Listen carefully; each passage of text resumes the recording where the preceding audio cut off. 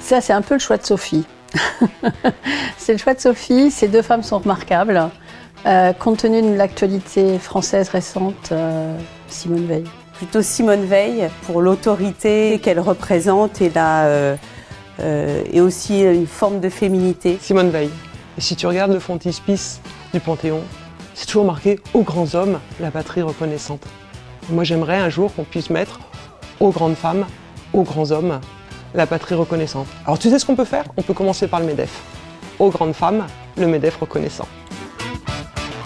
Marianne, c'est un symbole.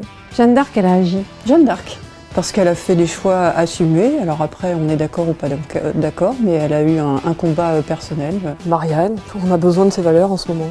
Ouais, puis Jeanne d'Arc, elle nous a défendus quand même. C'est vrai. ouais. C'est vrai. Les deux.